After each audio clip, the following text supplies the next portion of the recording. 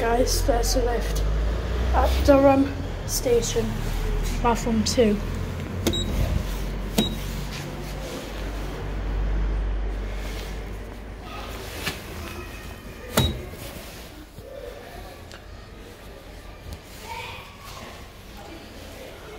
Here we go.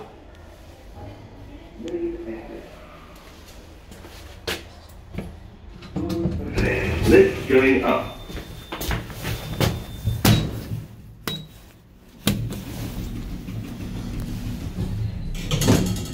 It's a Oakland lift.